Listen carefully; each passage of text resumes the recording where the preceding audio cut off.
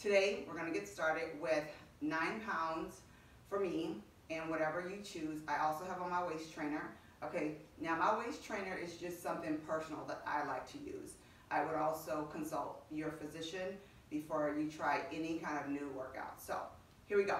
Now, we're gonna warm up and this is gonna be our balancing bar when we're warming up. So you're gonna step out to the right, to the left.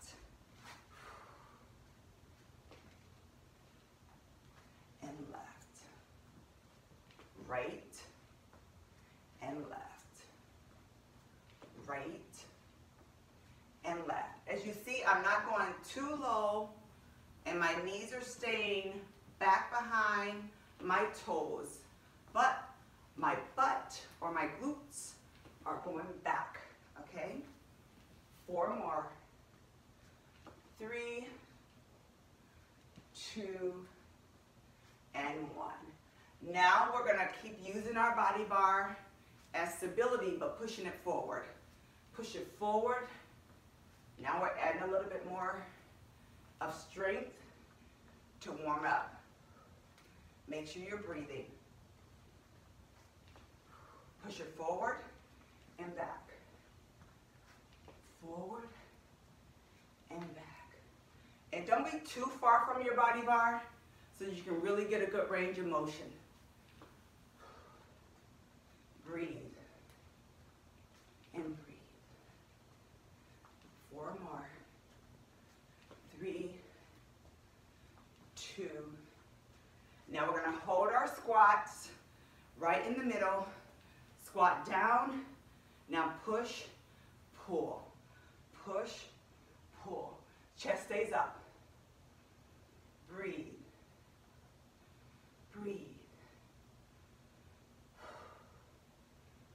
Again.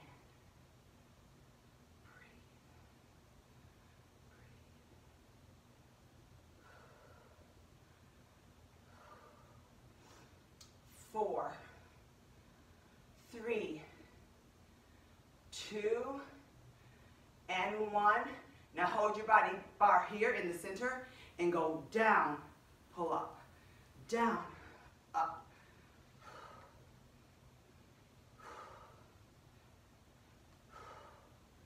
Make sure you're breathing.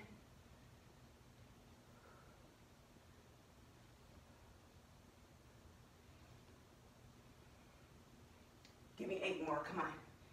Eight, seven, six. Squeeze your glutes when you come up. Four more. Three, two, and one. Now, we're gonna have a slight squat. We're gonna have one leg reach out, open it up and go to the side, down and pull. So side lunges and pull. Again. Side lunge, pull. Don't overextend that elbow when you come up. It stops about right there. Go over to the side. Don't lock your knee when you come up either. Side lunge, pull.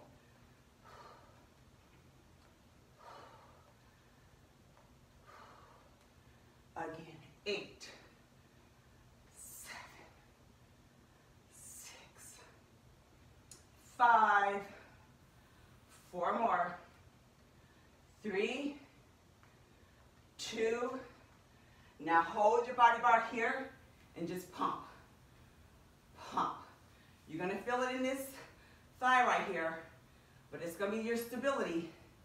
So lean over and pump.